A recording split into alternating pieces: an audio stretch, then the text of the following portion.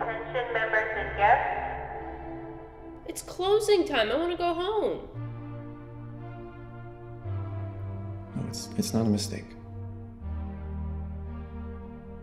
There's more to it than that, okay?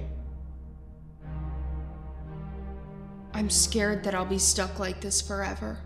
Attention members and guests. The gym is now closed. The gym is now closed.